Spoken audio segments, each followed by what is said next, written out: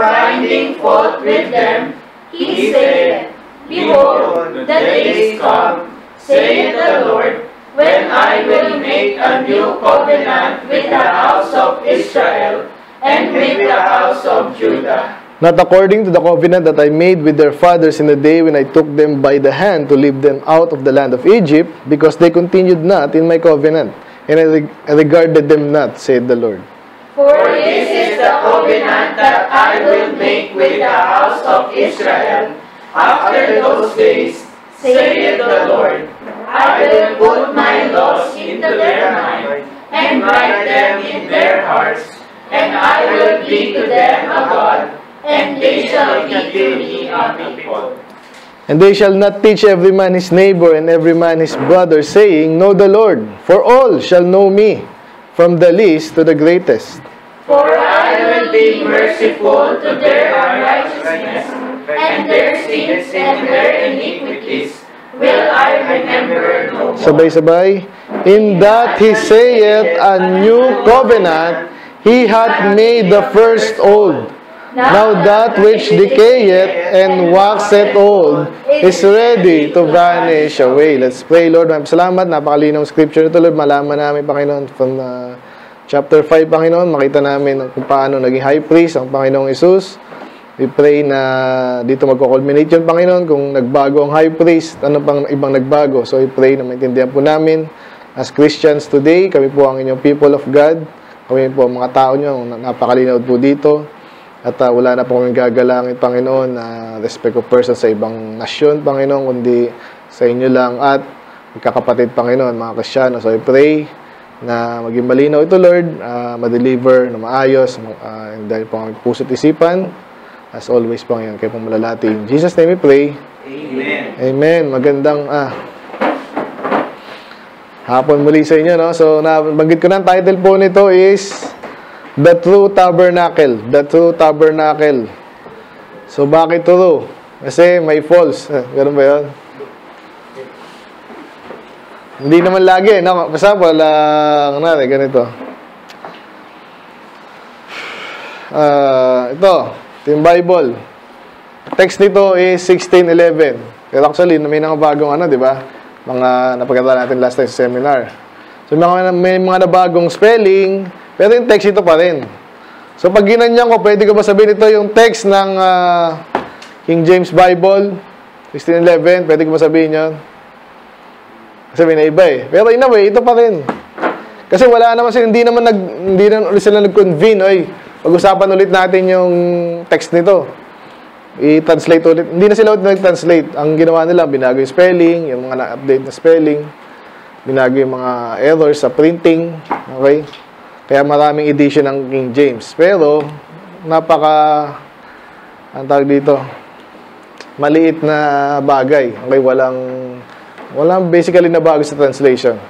Okay, so, ngayon, pwede ba natin sabihin nga hindi tunay yung dati? Tunay pa rin, di ba? Pero, ito na yung gagamitin natin kasi hindi natin gagamitin, hindi natin intindihan na yun eh. Iba na spelling nun, iba pati yung mga font, iba yung mga medyo hindi perfect example yan. Ang maganda example. Ang maganda example. For example, ito. Ito lang yung mga illustration dyan eh. Ah... Anong, daddy, alam to, ano yung saligang batas natin ngayon? Anong year? Constitution natin. 19? 1924. Buhay na ako nun eh. 87 po. May copy ako dyan. Dinala ko ba dati dito yan? Dinala ko dito, di ba? Alala niyo pa yun?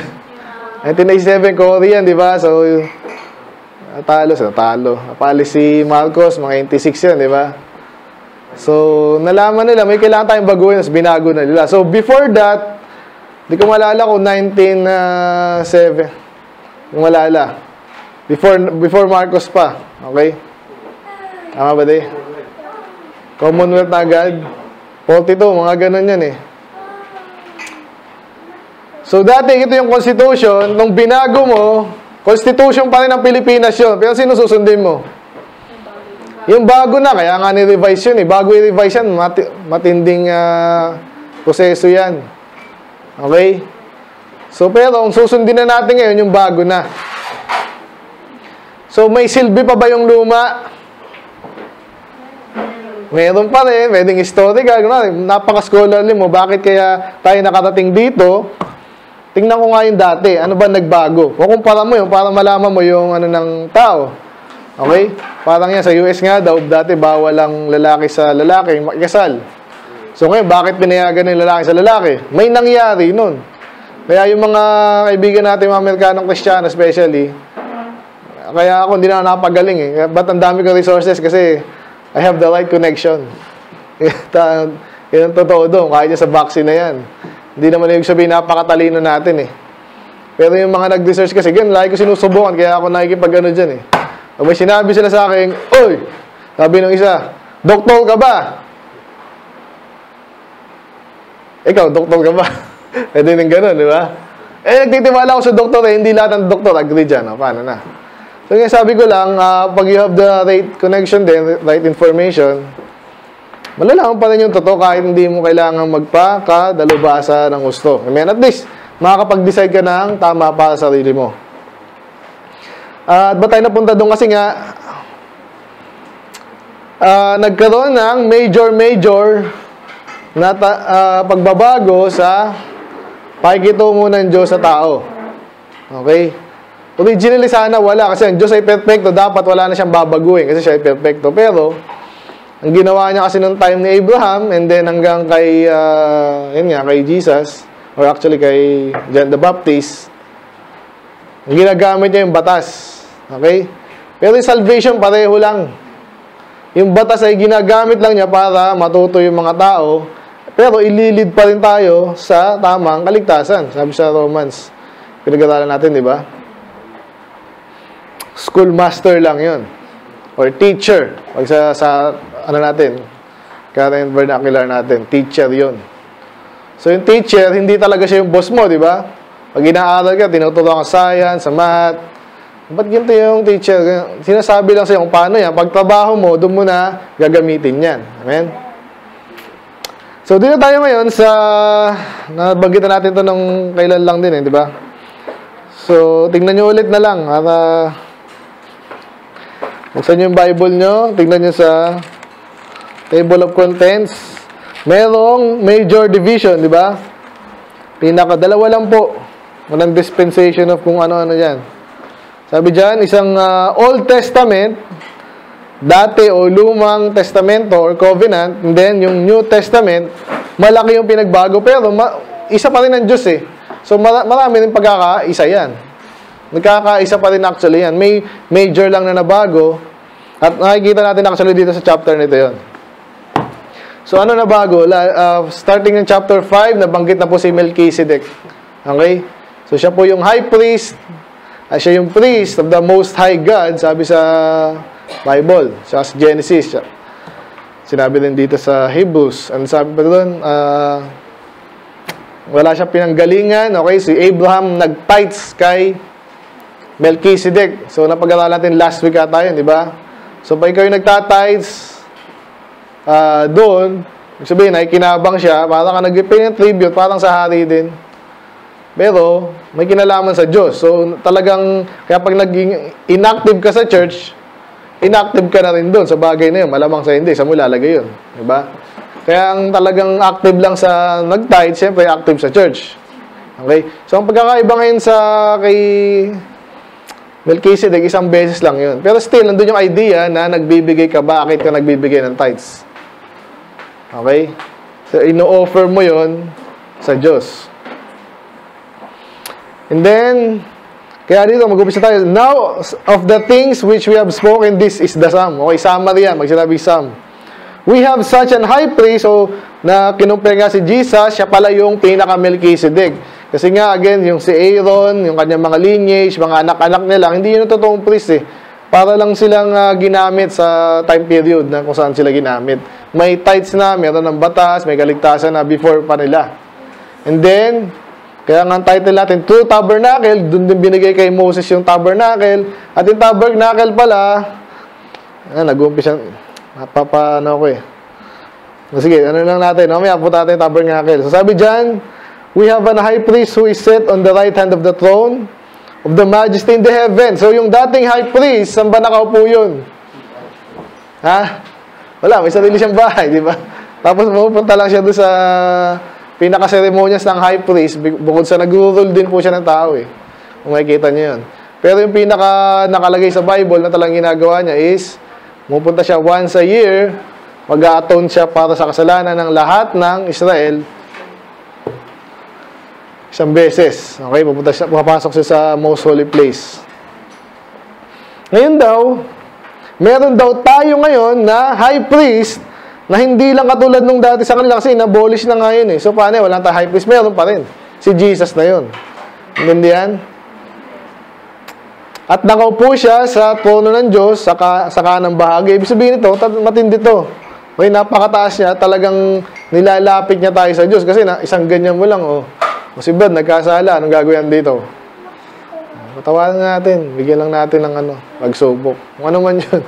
Kasi ini-intercede tayo ng Diyos sa, ng Panginoong Isus sa sa Diyos Ama. Okay?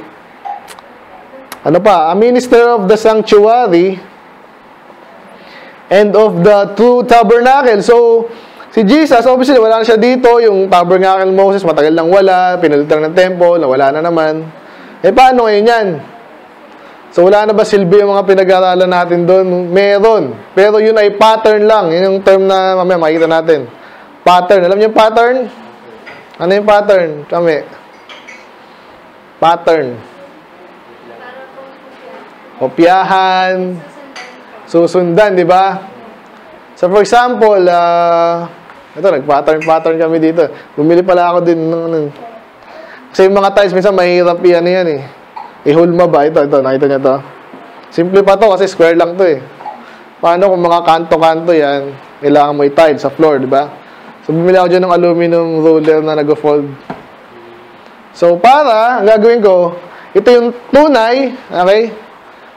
Ang gagawin ko, susukatin ko yan dyan. And then, ipapattern ko, okay? Kasi higpitan ko yun. Pag alis ko nun, yung pattern ng uh, walls, for example, andun na sa ruler ko na nag-fold.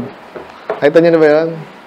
So, doon yung pattern na gagawin ko ngayon, kukunin ko yung tile, saka ako, mabilis na akong mag guguhit, and then, puputulin, pag ano, sakto na yun sa tiles. Napunta tayo sa tiles tuloy, no? Yun ang pattern. Ano pang pinapattern? Damit, especially, di ba? Lagi nakapanood sa Facebook, yung ano naman, sapatos, ganun din. Ang bilis ng mga gumagawa ng sapatos eh. Pattern, gagano, tapos cut. Basta may pattern, hindi mo na kailangan mag-design ng sarili mo, di ba? Sino nag-design? Yung gumawa ng pattern. Okay? So, ganun naman, yung bahay na naman, yung lagi yung illustration natin. So, hindi napakagaling ng mga kapintero. Magaling din yung kapintero sa manual labor. Pero sino nag-design niya para siguradong di yan babagsak? Engineer or architect, kung meron, ano, di ba? So, sila yung nagdi-design, bibigay sa iyo ngayon yung isa-isa ng ano, ito yung pattern niyan, ito yung ganyan ka ano, ganyan ka haba, ganito yung materials. Okay, alam niyo na yung pattern ngayon. So, ngayon ganito daw yun. Si, ang tunay na high priest pala, si Jesus, kahit dati pa. Hindi pa lang na ilapat ng malinaw dito sa Bible yun. So, kaya binigyan tayo ng Melchizedek, binigyan tayo ng Aaron, at ang itong mga to, ginagawa, nilalapit tayo sa Diyos. Pero sila namamatay, namamatay, namamatay. Iba, loko-loko pa, di ba? Tao lang yan eh. So, sino talaga yung maglalapit sa atin sa Diyos? Yung high priest natin, si Jesus. And then, so, paano yan? Meron ba siyang tabernacle? Kasi yun ang turo eh. Wala nang physical, pero, yung sabi sa atin dito, a minister of the sanctuary and of the true tabernacle. So, kailangan maging malinaw to ah. Pag sinabi kong, uh, ito, madalas natin nag, may mga bago tayong katolikong kaibigan, di ba? Alam niyo, madalas ma marinig sa preacher, di ba, na sabing, no, ito ang tunay at buhay na Diyos. Lagi, pag tayo-tayo nag-uusap, di kailangan banggitin yun eh. Pero pag uh, nag-preach ka, nag-soul winning ka sa labas, at nakita mo minsan talagang uh, resistant dahil ano eh, alam mo na, sarado katoliko, ganyan. So kaya binabanggit natin yung kasi kino-contrast natin yung kanilang Diyos-Diyosan sa tunay na Diyos. Pag sinabi mong tunay, eh, meron bang peke? Malamang, kaya nga sinasabing tunay eh. Ba? Ang tawag sa English parang kinakategorize or dinidistinguish, di ba?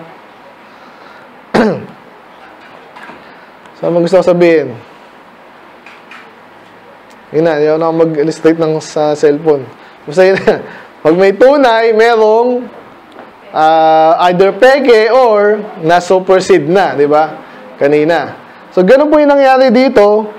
Ah, alam niyo naman yung nangyari sa, sa tabernacle, after nung may temple na sila, gumawa sila sa temple. So, ginagawa sa dati sa tabernacle, ay ginawa sa temple. Pero, ito yung special sa, sa, sa sanctuary, sa tabernacle. Ah, uh, balikan natin to kasi Saan ba yun?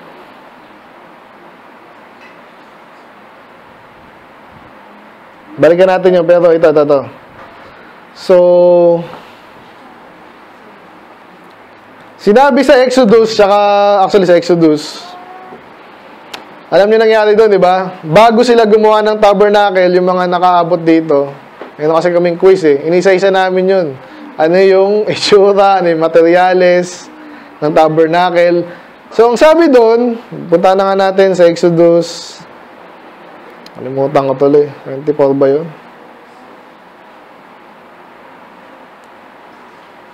Or 5? Hanapin natin.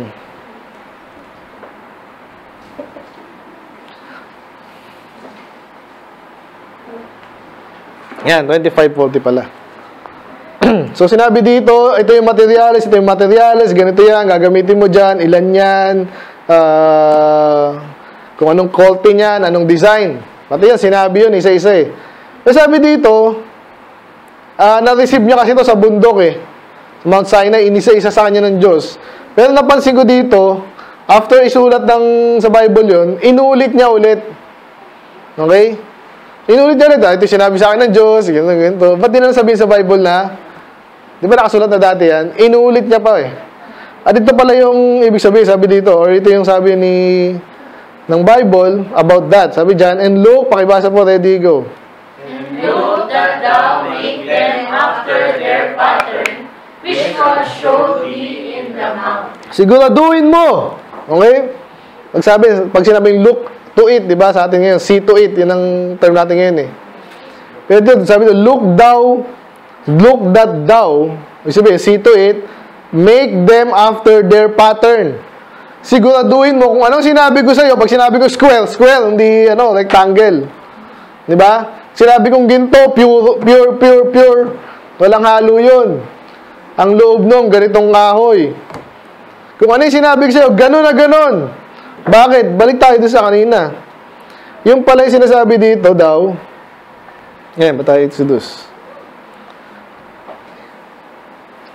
Hebrews 8. Sabi dito,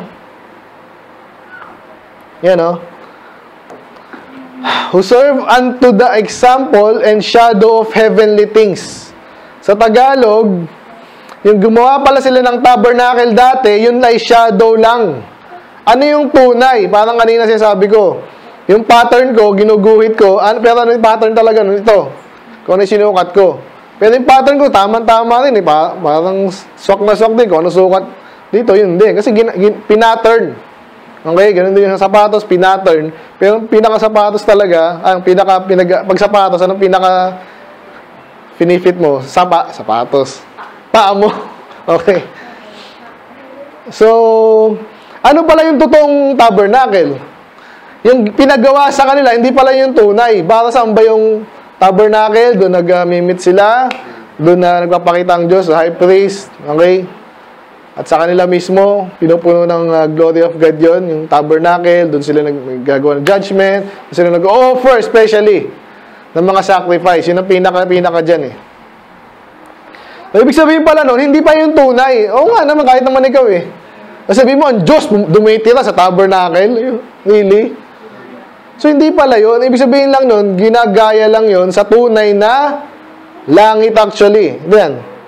Heavenly things, di ba? As Moses was admonished by God, of God, when he was about to make... So, yung gagawin niya na, matindi na yung memory ni Moses, sinulat niya kaya, hindi ko alam. Anyway, natandaan niya eh. So, nung gagawin niya na, sinabihan siya, Uy, tandaan mo yung tamang-tamang kung ano sinabi ko sa iyo, yun mismo. So, bakit daw, mamaya makikita natin. Pero, balikan natin yung mga nilaktawan natin. So, ulitin ko ha. Si Jesus yung tunay na high priest, ang tunay na sanctuary, siyempre sa langit. Sabi dyan, which the Lord pitch. So, sino nagpipitch dati sa kanila? Sino nagtatayo? Nalala nyo, siyempre tao. Pero sino sa kanila? Yung mga Levites. Okay? Pag lumipat sila, Uy, tayo ulit natin. Lilipat sila, liligpit na naman yun. Ang hina naman ng ano ng Diyos, ng bahay ng Diyos, di ba? Yun ang isipin mo eh. Pero yun nga kasi pattern lang pala yun, okay? Ang totoo niya, na tabernacle natin ng Panginoon na ang Diyos ang nagtayo. Okay? So saan? Sa langit. For every high priest, nabanggit ko kanina, is ordained to offer gifts and sacrifices wherefore it is necessity that this man have somewhat also to offer. So, dati yung mga priest ay nag-o-offer, edi lalo na si Jesus din, dapat may offer din. Ano, bagay natin ha, may sarili sa sanctuary, siya yung priest, dapat may offer din siya. Okay? For he, alam niyo na kung sino offer niya, di ba? Sarili niya. For he, for if he were on earth, he should not be a priest. Seeing that there are priests that offer gifts according to the law. So, again, Ba- ba't hindi ginawa ni Jesus yung? Kasi nga, yung gagawin niya, mas maganda, mas matindi, at mas eksakto. So, kaya hindi po siya naging anak ng priest, tapos nag-offer-offer siya, saka siya naging savior. Hindi. so, yun yung bagay natin kanina. Sabi doon, example lang pala yun, yung mga pinagagawa nila. Ito na ngayon. But now, He, sino tong He? Jesus hath obtained a more excellent ministry. So, sino nainggit sa mga ano dito? Nung binabasa ko dito minsan, nakakaingit naman yung high priest. Siyempre, parang siya yung bidang-bida dun eh. Pati suot niya talagang maganda. Ano yun? Specific din yung design nun. Lahat yun may kinalaman sa Diyos. Pero, naglilingkod lang siya sa Diyos. Katulad natin dapat, no? So, si Jesus, ganun din pala. Pero mas matindi. Excellent ministry by by how much also He is the mediator of a better covenant. Diyan napapasok yung ano yung sasabi natin. So, ni old covenant, may better covenant. So, ano yung better? Old or new? Pareho lang yun. Kasi, pareho sa Diyos yan eh. Eh, sabi dito, may better eh. So, pag may better, may ano ka balik ng better? Worse. Di ba? Do actually, maganda rin yung kaso nga, yan, makikita rin natin mamaya, sino ba yung nagkamali? Ang Diyos ba nagkamali? Gumawa siya ng covenant sa Israel, tapos, eh, pangit pala yun. May ginagawang pangit ang Diyos, wala. Pero sino nagkamali? Makikita natin mamaya. Pero sabi lang dito, better ang covenant ng New Testament kasi, which was established upon better promises. Kasi nung nangako, kaya sa New Testament, ang gaganda ng pangako eh. Malinaw yung kaligtasan. Malinaw yung dapat natin gawin. Sa kanila, malinaw din, pero hindi rin ganun kalinaw eh. Sa totoo lang, pag binabasa ko yung Old Testament, nakikita ko yung ah, kagandahan nung, kasi nga, alam ko na yung New Testament. Pero imagine mo kung di mo alam yun. Ganun din sa prophecy, di ba? Sa Revelation tayo. Imagine mo, di mo alam yung Revelation, babasahin mo lang, Daniel. Ang hirap. Doon nakikita mo rin yung the same event, pero hindi ganun kalinaw, di ba? So, better talaga yung New Testament. Kasi better yung promises. And sabi dito na, For if, bakit nga ba pinalitan? Sabi dito, For if the first covenant had been faultless, sa Tagalog, kung yung unang covenant, Old Testament, ay walang mali, So, ano sabihin nun? May mali. Ang Diyos ba may mali? Hindi. Sabi dyan, then should no place have been sought for the second. So, obviously, may mali sa first covenant at ang nagkamali sila, hindi ang Diyos. Okay? Pero malinaw, may, yung first, may fault. Pangalawa, better siya. At pinalitan niya itong second, ay yung first. Ito na yung fault. For finding fault with them. Sino may fault? Kasi ang malinaw yung sabi ng Diyos eh. Ano ba yung dati niyang covenant? ah, sumunod kayo gagawin ko, sinasabi ko sa inyo, kayo ay magiging people of God. Yun ang sabi doon eh, yun ang pangako sa kanila. At, again, di nga ganun kalinaw yung ibang bagay. Pero actually, ganun din eh. Magiging priest sila to the nation. Nalala nyo pa yon Sila yung mga yung magiging priest, a nation of priests. Kaya nung tinawag tayo ngayon sa, sa New Testament na nation of priests, eh di pinalitan na talaga sila. Wala na natira sa kanila. Okay? Yan, sabi dyan, no? So, finding fault with them, may, ano, yung, ano yung fault sa kanila sa Old Testament? Ginawa ba nila yung dapat nilang gawin? May time na ginawa nila, may time na hindi. Pero ang alam niyo ng tao, nagkakamali. Parang ito, mga anak natin. Ngayon, mag-aaral, mamaya maglalaro. Okay lang yung maglaro kung nasa oras. Eh, habang lumalaki yan, magagabayan mo yan eh. So habang sumusunod dyan, walang problema. Sige, palo, ano, araw-araw. So ang Diyos naman, kung sumusunod sila, tuloy-tuloy yan. Kaso, sumunod ba sila? Hindi, totally. Nung time na sila ay ah, binalik nga sa promise land, okay na okay na sana, hindi pa rin. Dumating si Jesus, hindi nila tinanggap. So, nang gagawin sila kanila ng Diyos? Ayaw na talaga nila eh. As a nation. So, kaya sila ay pinalitan na talaga. At meron sila talagang fault. Ang covenant po, ibig sabihin ng co- covenant, kontrata, yan po ay kasunduan. Hindi pwede yung isang tao lang may gagawin, ikaw wala. At ganyan na ginagawa ng mga Calvinists. Sa totoo lang, kaya pinag-usapan natin yan eh. So kung alam nyo na yun, malayo na dapat kayo doon. Pag may mga nagpo-post yan ng kahit ano, kala mo harmless. Wala akong ginawa sa aking kaligtasan. Si Jesus lang gumawa. Medyo may pagkatama yun kasi wala kang ginawa para maligtas. Pero tinanggap mo pa rin siya. Kailangan maging malinaw yun. Nag-decide ka pa rin. Yung iba, hindi na sila nag-decide eh. Salamat doon, pinili mo na ako dati pa para maligtas. Mali rin yun. Pinili mo ako na maging banal. Pinag-uusapan namin sa Bible School. Kasi, yun nga, yun ang mga mali. Okay, so may ginawa tayo, nag-decide tayo, tinanggap mo yung kaligtasan. Tinanggap mo si Jesus. Nag-decide ka nun. Okay, so sila, hindi sila tinanggap. Dumating si Jesus, ayaw namin sa'yo. Yung sabi nila, pinatay pa nila. So kaya ngayon sila ay naputol po yun. Yung Old Testament, okay, papalitan ko na. Okay, hindi na pwede yung ganito eh. Na kala nyo kayo lang. Actually, hindi nga rin eh. Dati, pagka hindi ka Israel, gusto mo sambahin ng Diyos, umama ka doon, mag, mga lalaki lang circumcised, saka sumamba sa Diyos, hudyo ka na rin. Israel ka na rin. So, walang pinag pinagkaiba sa ngayon. so, sabi dyan, I will make a new covenant with the house of Israel and with the house of Judah. Ayan, di sa kanila lang yan. Pastor, hindi pa rin. Ito makikita natin. Okay, not according to the covenant that I made with their fathers in the day when I took them by the hand to lead them out of Egypt, because they continued not in my covenant and I regarded them not, said the Lord. So, balik tayo sa kwento. Ano ba nangyari sa land of Egypt? Inalis sila doon, di ba? At doon in-establish yung covenant nga. Umalala niyo yun, sabi niya, kailangan umalis kami dito, hindi kami pwede sa Egypt. so, nung umal, umal, nakalis na sila doon, saka binigay sa kanila yung Naalala nyo, anong binigay sa kanila? Ano po?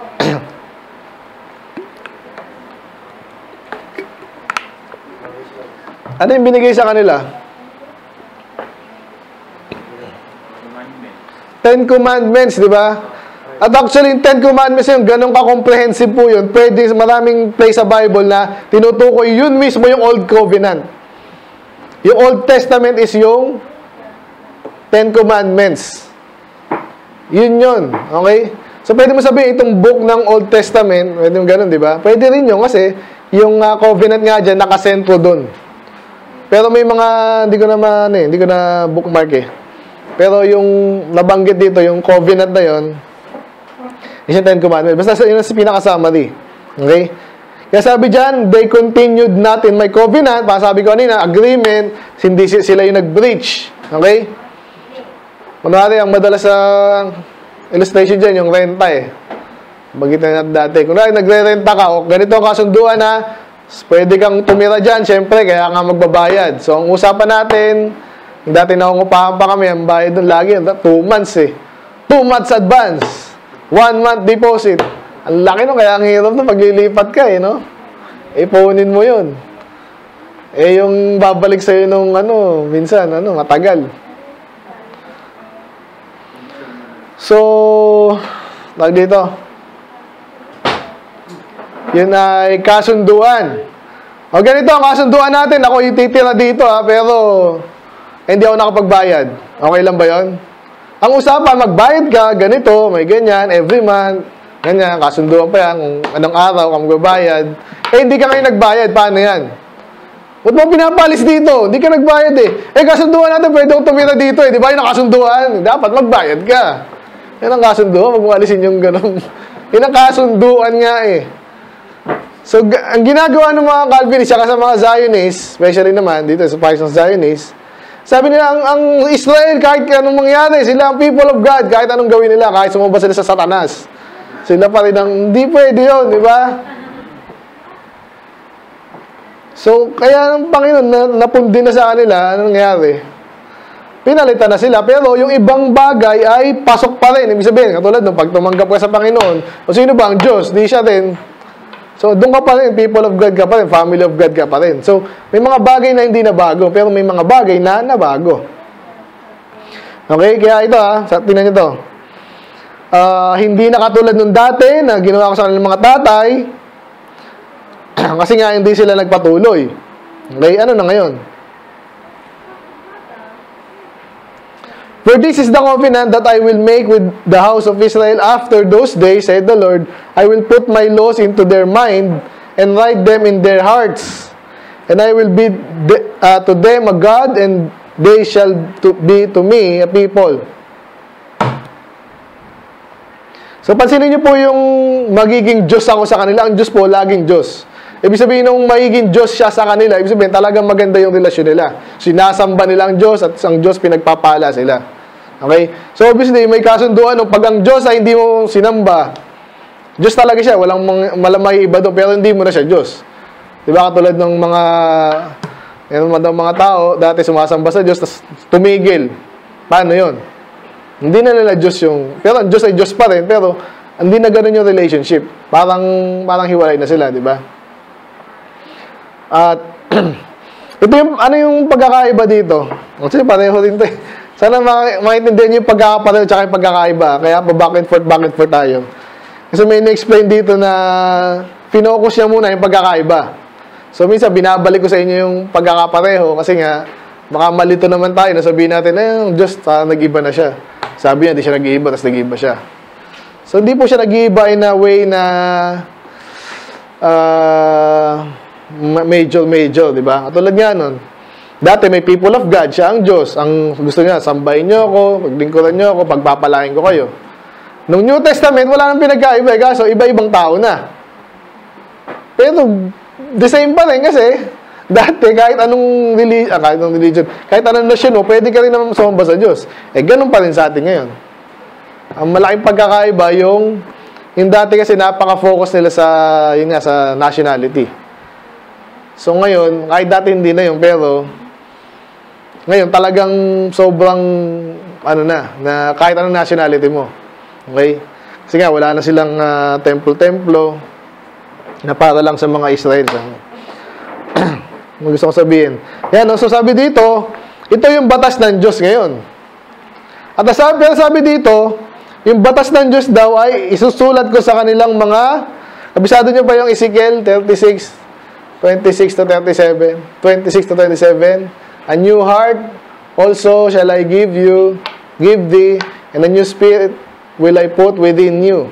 And will, I will take away the stony heart of their flesh, out of their flesh, and I will give you an heart of flesh. Kamali ata, stony heart of, out of your flesh, and give you an heart. And I will give my spirit within, put my spirit within you, and cause you to walk in my statutes. Ano sunod doon? And and you will keep my judgment and do them. Parang ganon. Okay?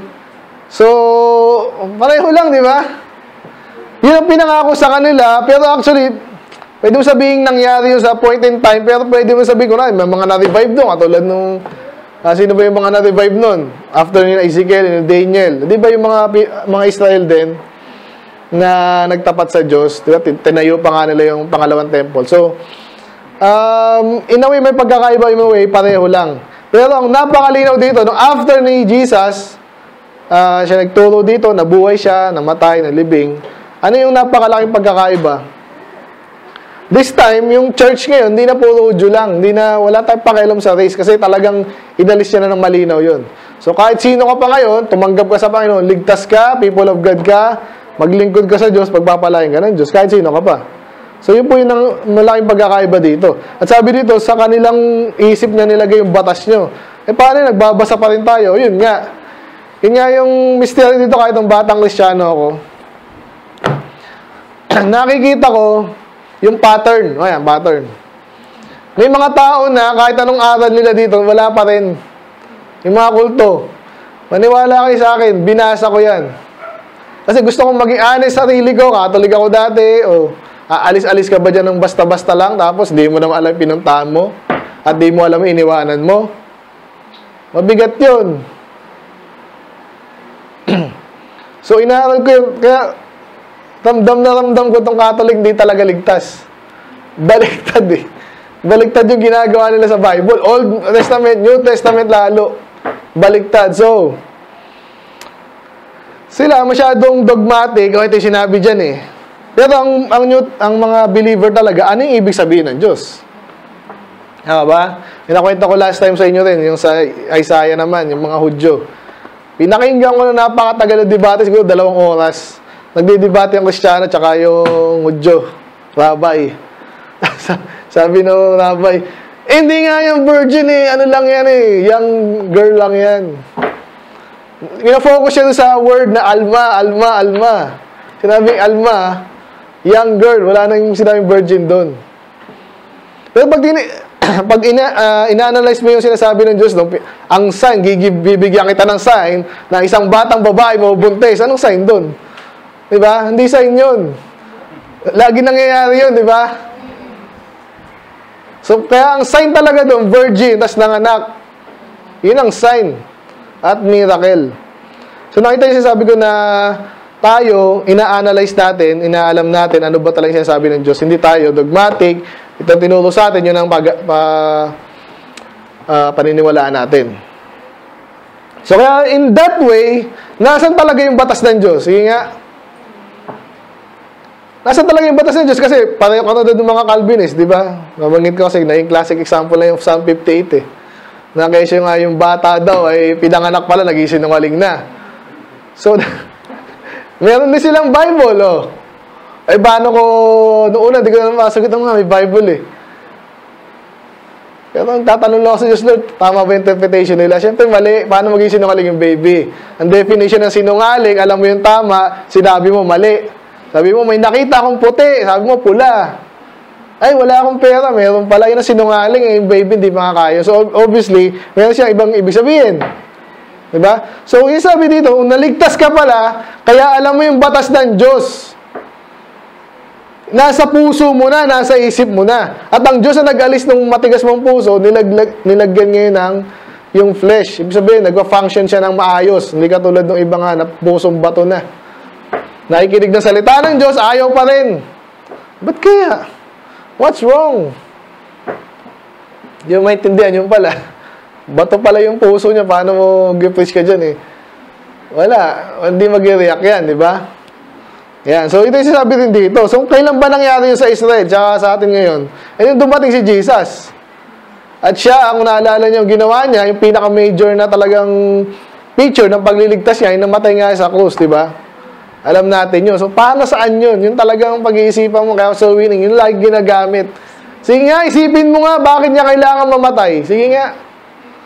Walang explanation dun, hindi lang basta logic yun. Eh. Sa puso mo yun eh.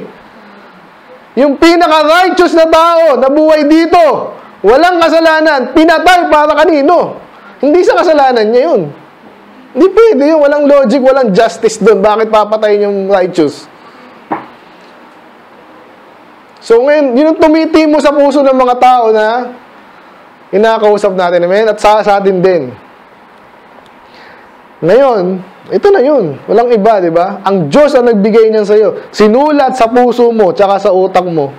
Ngayon, naintindihan mo na, hindi ka na basta makaloko. Okay? And I will be to them a God. Sasambay natin ng Diyos. Hindi na tayo papalik-balik. Eh. Doon ako sa iglesia dahil meron dong ano. Hindi ka parang ganun. At galangin mo yung niligtas ka ng Diyos. Hindi mo yun, hindi mawala sa yun. And they shall be my people. So, ang anong implication? No, Siyempre, pagpapalain kayo, tuturuan kayo, di ba? Yung implication ng pagkakitao ng Diyos. O kaya siya ay hari, siya yung ating uh, tagapagligtas, siya yung ating tagapamuno. Dadali niya tayo sa kakabuti natin. And they shall teach. So, hindi, na to, hindi natapos. Kaya napakagandang example na naman to sa mga Krisyano. Ano bang ginawa ng mga Hudyo sa tinuro sa kanila ng Diyos? Sige nga, may nabalitaan ba kayo mga Hudyo nag-evangelize? Ha? Kahit dati. Actually, meron nga gumagawa sa kanila, pero napaka-konti. Na-note ko yun, si Ezekiel, si Jeremiah, si Isaiah, mga major prophets, nag-preach po sila sa labas. Alam niyo ba yun? Kasi ganun dapat gawin nila eh. Pero yung mga majority ng mga Udyo, ginawa ba nila yun? Lagi sila yung, uy, kami lang nasamba sa Diyos. So, ganun nangyari sa Christianity. Grabe yung pagkalat natin ngayon, di ba? At pag natutunan mo na yun, ikaw naman yung tuturo sa iyong kapit, kapitbahay, okay? Hindi lang kapitbahay yan, ibig sabihin, ibang tao. At sabi dito, and every man is brother saying, parallel po to, sa mga sinasabi sa mga prophecy, no? So, dating daw yung panahon na grabe na yung pagkakaalam ng tao sa salita ng Diyos, minsan, ang problema na ngayon, hindi mo sabihin, ito ang Diyos. Hindi na. Ang problema mo ngayon, i aalisin mo yung mga kasinungalingan para makilala nilang gusto ng Diyos. Okay?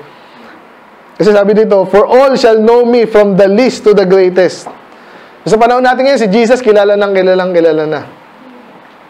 So may mga kumukonta pero konta lang yun. Again, yung mga tao na walang prejudice, okay, especially mga bata, Nakakawa yung mga bata. Naalala ko yung mga bata tuloy dito. Di ba? Pag nabalitaan natin, ba't di na umatin? Yung magulang pa yung magsasabi sa kanila na kung anong kasinungalingan. So, yung na-appreciate ko sa mga parents ko dati, kahit pa paano, naramdaman ko yun eh. At least, alam nila yung gusto, gusto nila yung mabuti sa akin. Hindi sila nagsabi ng ganun. Na, huwag ka dyan. Bakit po? Basta. Eh, iba, isinungaling, basta dito tayo lumaki. Depende nga sa pagkakakaloko din sa kanila eh. Kung ganun katindi yung pagkakakaloko sa kanila, tituro din nila sa iba yon. So kaya sabi ko, yung mga batang di umaten, bigyan nyo lang, bata pa yan eh. Nataniman na natin yan. Maniwala kayo. Huwag natin silang gagawa ng masama. Amen? Huwag natin sabihin, eh, eh, umaten, di ka na ma... Hayaan mo lang. Inakausap ng Diyos yun. Amen? Pati mga magulang nila. Wala tayong gagawin sa kanila masama. Welcome silang bumalik. Wag lang sila magsasabi ng kasinungaling laban sa atin, pero kahit gawin, gawin pa nila yon, ang gagawin natin? Tanggapin lang natin yon, sasaluhin natin yon, wala tayong ginagawa masama. So, ganun po yan.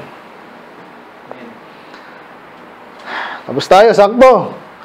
For I will be merciful unto their unrighteousness and their sin iniquities will I remember no more. So ito po yung medyo na ginagamit nila din at parang totoo, di ba? Kasi sabi nila, Israel pa rin niya pero kakalimutan ko na yung kasalanan nila. Diba? Pero ang, ang katotohanan ng sa tao, namamatay tayo eh. Paano yung mga hindi tumanggap sa kanya na kinamatayan na yun? Obviously, wala na. Okay? At, kung yung nation sa Israel ngayon, sa Middle East, sabihin natin tumanggap sa Panginoon, hindi liligtas talaga yun. Ang tanong, mangyayari ba yun? Sana. Kaso, hindi ganun. hindi ganun nangyayari. Policy sa kanila yun na hindi mo tatanggapin si Jesus, especially galit sila kay Jesus. So, ano ngayong interpretation natin dito ngayon? Obviously, ito na yung mga, again, yung mga Kristiyano. Di ba? Na dati silang Hudyo, ngayon tayo, pinanganak tayo, ganun pa rin. May mga roots-roots pa rin tayo sa mga yan eh. Pero yung mga kasalanan natin ngayon, yung mga kasalanan ng tatay natin, aalalahanin pa ba ng Diyos yun? Hindi niya i-charge sa anak mo. Di ba? Kanino yun? Sino ba nagkasala? So kaya ngayon, yung mga maitirang mga Krisyano, at kahit yung mga Krisyano rin na nagkakasala pa rin, lahat naman nagkakasala. So ano yung gagawin niya? He will be merciful to us. Okay? So yan ay medyo naghahalo yung kaligtasan dyan, tsaka yung pagiging ah, people of God nga. Ang hirap sa sa mga tao na especially yung mga medyo matanda na, no? Ano mahirap sa atin? Minsan magpatawad eh.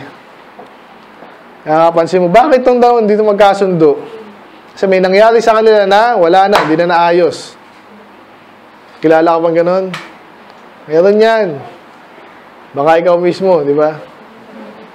So, pero ang galing ng Diyos eh. Wala sa Kanya yun. Amen? Basta ngayon, anak kita, napatawarin kita. Okay? Kaya sabi dito, balik tayo sa covenant kanina, in that he say it, okay, ano sabihin in that, yung mga pinag-aralan natin dito kanina sa umpisa, kaya sabi doon, new covenant na yun ha, yung old is old.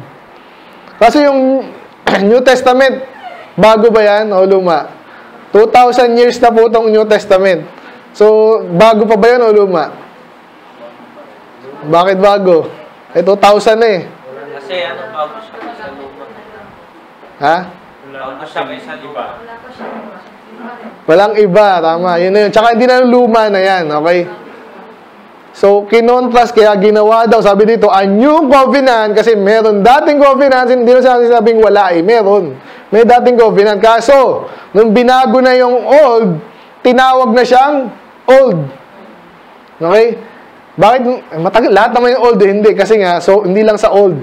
Kasi hindi na siya effective. Hindi na siya enforced. Tulad nung, ah, ano man yung station natin kanina, saligang batas, 'di ba? Yung lumang saligang batas, wala na 'yon. Yung bagong saligang batas lang sinusunod natin ngayon. So, ganun sa atin ngayon, naging new covenant na, yung dati, old na, at dahil old na siya, ano mangyayari sa kanya? Gagamit, ibabalik natin. Ganun ba yun? Pero karamihan ng kulto, ganun ginagawa. Exactly ganun. Binabalik nila, hindi dapat ibalik. Pati yung uh, dalawang, ano naman yun, eh, yung mga dietary law, saka uh, ceremonial law. Uh, specifically sinabi sa Bible, sa New Testament, na huwag na natin pakilaman nyo, yung holiday-holiday na yan, yung bawal ang alimango, bawal ang shrimp, bawal ang atay, bawal ang baboy, Sabat-sabat, di ba? Kailangan, ano, mga damit din. Di ba? May mga damit silang particular sa kanila eh. Ha? Breastplate, breastplate. temple, yan. Gusto nila ibalik yung temple na yan. Sabi dito, ang linaw eh, Now that which decayeth and waxeth old is ready to vanish away. Ibig sabihin, especially yung mga binago na talaga sa New Testament, hindi mo na kailangan isipin yun. Unless nga, tagapagturo ka din para ma-relate mo lang. Okay? So, ako, yung master ko yan kasi nga, maraming kalaban. So, gag, uh, lulukoyin tayo na ibinabalik nila yan. So, pa, kung hindi mo alam to, hindi mo inaral yung Old Testament, hindi mo sinumabalikan, ito yung specifically tinanggal na ng Diyos sa New Testament. Kaya inaaral din natin. Kasi iba gagawin sa dyan, eh, hindi mo alam yung mga ganyan eh. Eh kung alam mo rin, di ba? So, ganun din naman sa, ano, kaya nag-Greek din ako eh. Sila, may Greek sila dun eh. Natuwa din ako eh. Pero, hindi natin kailangan lahat mag-Greek. Pero dapat yung iba sa atin, kailangan. At least 1% ng mga Kristiyanong Baptist, kailangan alam mo yung Greek. Bakit? Kasi pag uh, hindi mo inaaral yan, lolokohin ka ng iba. Na, kunwari, mayroon silang Greek, Greek, Hebrew. Kasi ikaw hindi mo alam, ano mangyari sa'yo? Babariling ka niyan, di ba? Ibig sabihin, uh, tapos damay-damay na tayo. Kung, kung at least meron tayong at least uh, 1%, half percent ng marunong mag-Greek, o sila yung titira dyan sa mga yan, di ba? So, ganun yun. So, pansinin niyo yung ano ha, that which decayeth and waxeth old is ready to vanish away. So, wala na tayong regard dyan. Sinabi rin pala dito kanina yung regard, di ba? Ano yung sabihin ng regard?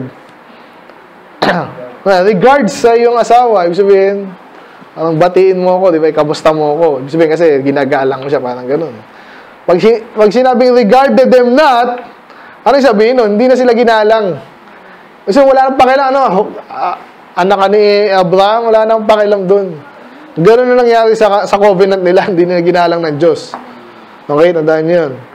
Ngayon, balik tayo sa pinaka-title natin is, ano dito? The True Tabernacle. So, walang pupersa sa atin na, eh, bakit kayo walang, ito yung mga Yeshua, Yeshua, natawa ako dun eh. Hindi ako maalis sa group nila.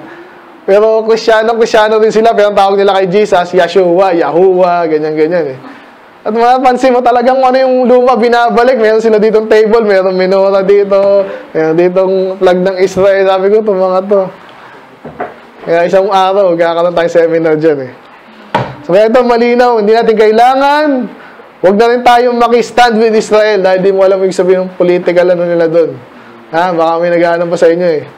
I stand with Israel. For what? Politika yun hindi mo naintindihan. Okay? So, yan. Sana naintindihan natin. The true tabernacle, nasa, sa, nasa langit na yun, si Jesus yung high priest. Masisira pa yun, hindi na. Pag gusto nang itayo yung temple dito, matakot na tayo. Hindi naman. Pero, end times na yun, di ba? Medyo na-touch na natin yun, di ba? Pag, bina, pag tinayo na nila yun, malapit na ang wrath of God. Tribulation na actually yun. Okay, so may question ba? Tapos natin yan, ha? The true tabernacle. Nasa langit na. Pero, ito pala yung gusto kong sabihin. Kung, uh, eh, pasan pa yung old?